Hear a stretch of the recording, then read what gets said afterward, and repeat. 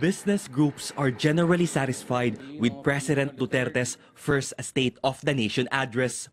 They feel more positive about the economy's future after hearing the president's speech. positive, optimistic. Clearly, a number of the agreements we had in Davao uh, with the business sector um, were included or mentioned in the speech. The Makati Business Club closely monitored President Duterte's SONA on CNN Philippines.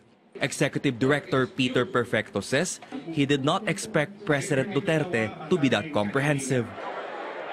During the campaign, businessmen had jitters about a Duterte presidency as he seemed to lack a vision for the economy. But now Perfecto says President Duterte responded to more issues than former President Aquino. In this zone, uh, we heard a number, much more of our priorities than in the past. Perfecto lauds the president's plans to cut red tape and reduce taxes. But businessmen say the president should have specified by how much he wants to slash personal and corporate income taxes. The Makati Business Club recommends a tax cut of 20 to 25 percent, as this is in line with other ASEAN neighbors. They also wish the president discuss his plans for addressing the power crisis. You may have wanted to understand better what will be the uh, agenda or the roadmap to address um, our energy situation. The Philippine Chamber of Commerce and Industry says Dutertenomics is now clearer.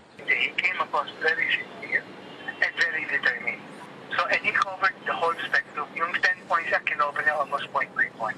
Chairman Emeritus Donald Dee believes the president is sincere about making things happen. Dee also welcomes the president's aim to balance industrialization and climate change. We are all in agreement. Climate change is a commitment that we all understand. But it cannot be at the expense of our economic growth. Both businessmen say it's too early to compare the president to his predecessors when it comes to economic policies. While they are optimistic, they are keeping an eye on President Duterte's next moves. Rex Remitio, CNN Philippines.